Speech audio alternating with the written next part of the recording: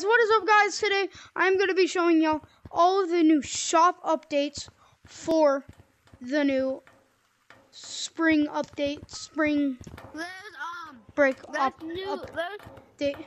Yes, so the, this um, is the new shop place.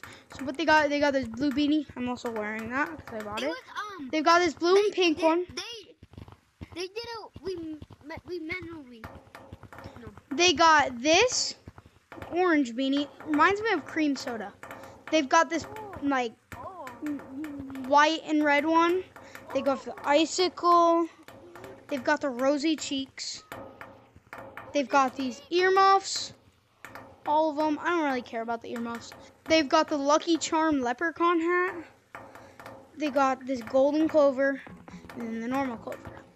So that is all for that real shop. They also have a bundle. This comes with 5,000 shiny rocks in a living, limited time. It's a pot of gold. It's not very good.